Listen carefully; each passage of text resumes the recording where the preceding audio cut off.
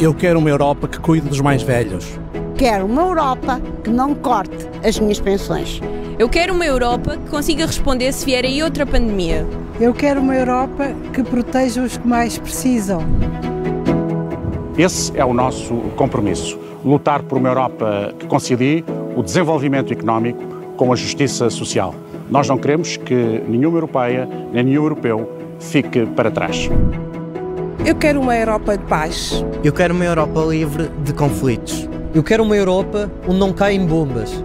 Eu quero uma Europa que defenda os direitos humanos. Onde os meus filhos não tenham que ir para a guerra. Eu quero uma Europa que construa pontes. E não muros.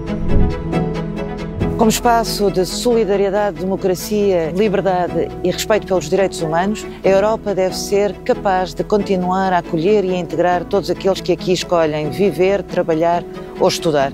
Este é o compromisso dos candidatos socialistas ao Parlamento Europeu.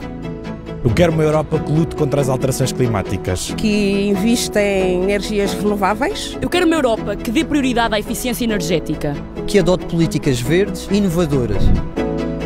A luta contra as alterações climáticas é a emergência da nossa vida. No Manifesto do Partido Socialista encontras políticas concretas que promovem a sustentabilidade, que aceleram o investimento em energias renováveis, que promovem a economia circular, estimulam a biodiversidade e reduzem a emissão de gases com efeito de estufa. Juntos, vamos construir uma Europa mais verde para todos. Quero uma Europa onde todos tenham lugar para viver. Que apoie a construção de habitação acessível combate à especulação imobiliária, que proteja os inquilinos, que invista em habitação pública, que assegure o direito à habitação.